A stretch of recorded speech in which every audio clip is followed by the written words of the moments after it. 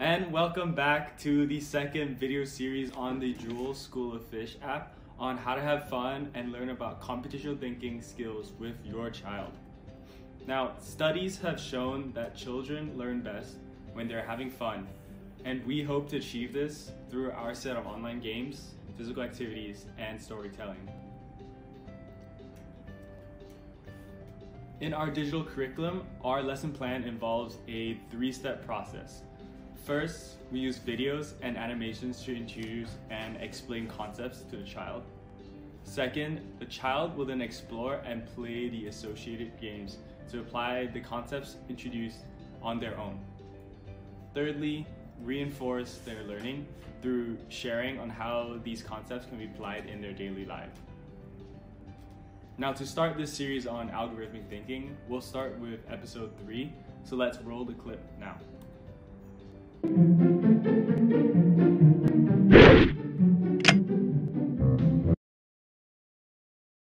Ah, right there. oh, hey kids, you're he. Whoa! Wow! Ow! Ugh. Ah, shucks. I spent hours putting these letters up on the wall. Huh. Oh, well. I'll just get back to it later. Hello, kids. It's me, Doodle. You are looking great today. Shall we start? great. Cool. We're going on an adventure today. Are you guys excited? Yay! I am excited too. But before that, I'll be teaching you algorithmic thinking. Repeat after me. L go rhythmic thinking. Algorithmic thinking. It's so easy. Learning can be so much fun. L go rhythm mic think ing. But what does it mean? It means you need to think in steps, step by step to achieve your target. Step by step, from A to B. Look, I'm hopping from A to B. Hmm, let me think if I can give you a few examples of algorithm in real life. Can you think of a few examples too? Hmm, let me think. Hmm. Ooh, aha! I got one! How about wearing your shoes? Do any one of you wear your socks after wearing your shoes? No, that would be very silly. to wear your shoes properly, first you have to put on your socks, then you wear your shoes. Step by step. See? Step by step. Let me think of another example. Hmm. Aha! Making a hamburger is also a very good example. Making a hamburger is an algorithm too. Let me explain. By the way, I love hamburgers. So first, I have to slice the bun into two. Next, we add in lettuce and tomato. Eat your vegetables, kids. So children, what do you think is the final ingredient? Yes, correct. Meat patty. Yes. Ta-da! Step by step deliciousness. Mmm, that looks so yummy. Yay! It's time for lunch. I'm going to eat this hamburger today. Step by step. See you guys later. Now, it's time to engage your child with the Pearly Whirly game. So let's play the clip on how the game works so that you can explain it if your child needs more help in understanding this type of gameplay.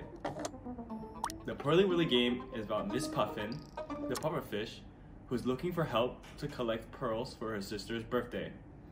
And your buddy has volunteered to help her look for these pearls. The objective of the game, Pearly Whirly, is to travel from A to B, and along the way, find the optimal route to collect the pearls for Miss Puffin. Pearly Whirly teaches the computational thinking concept of algorithmic thinking, which in coding means to follow a set of instructions or rules in a sequential manner, or as Doodle says in his video, step by step.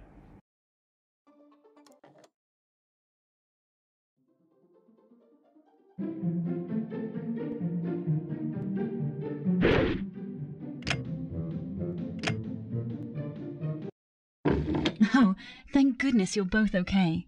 Oh, it is me, Sally. Ha, I can choose to be anywhere. I am a super robot. The crash has broken my propellers. Let us explore the area and see what we can find to fix it.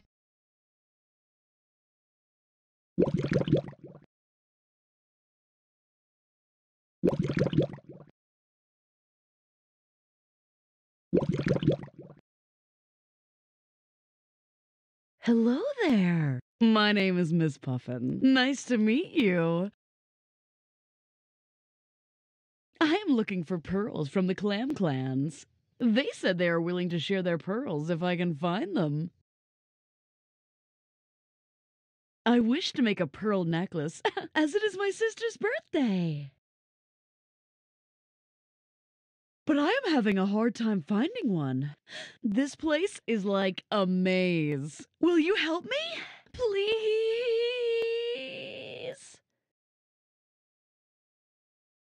Perfect! You three are such darlings.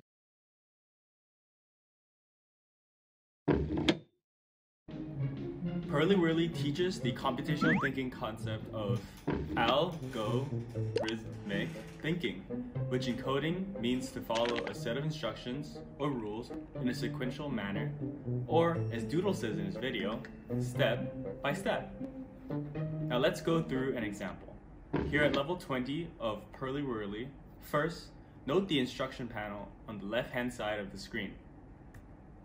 Next, we need to provide a set of instructions to your buddy so that he can reach the other side of the path and collect the pearl.